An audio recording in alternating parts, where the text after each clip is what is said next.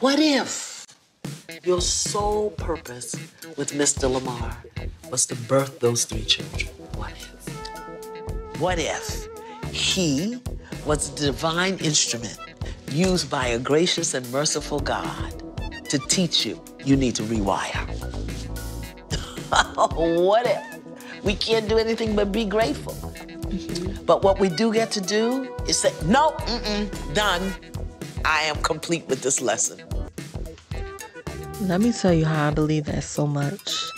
It is part of my philosophy, it is part of my passion, it is part of my purpose here on life is to help people understand things don't always have to turn out what they seem to be.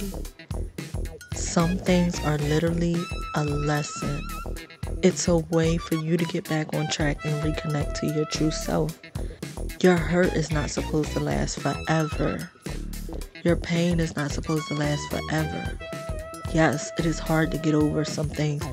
Yes, it is it seems like you're going to freaking unalive, you know, but that doesn't mean you can't get over it. That doesn't mean you can't get through it.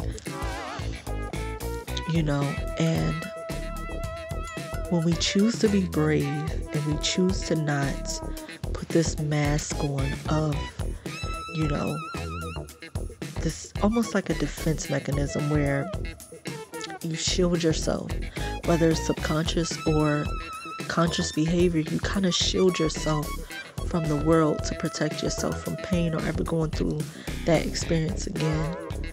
But when we choose to be brave and be our truest self and literally live in our truth, take the time and patience and kindness to really just get to know yourself and where that person on the outside.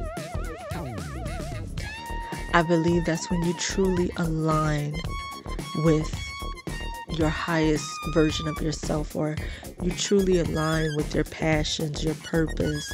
I truly believe that. And it is, I am so passionate about this line of thinking. I am so passionate about this mindset because it's so many of us that are suffering and want to stop and don't know how. There's so many of us. Did you hear that car beat? that is confirmation. There's so many of us that genuinely want to be us, but our lives are not aligning in the way that we can see ourselves being that full version of ourselves or that whole version. But let me tell you, it's baby steps. You don't just decide to get rid of the hurt and pain in the next day you're your full self, no pain, no trauma.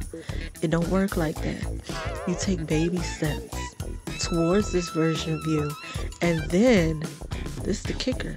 You also show yourself love while you're in this version of yourself.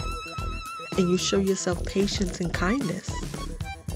This version of you is so worthy of the love, respect, patience, and kindness.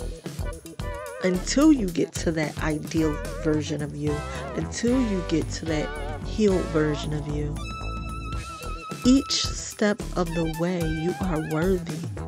That's the kicker. A lot of us want to be from this to that ideal version.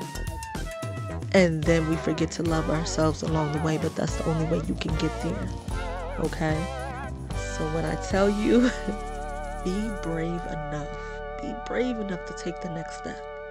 Be brave enough to take that next baby step. Okay?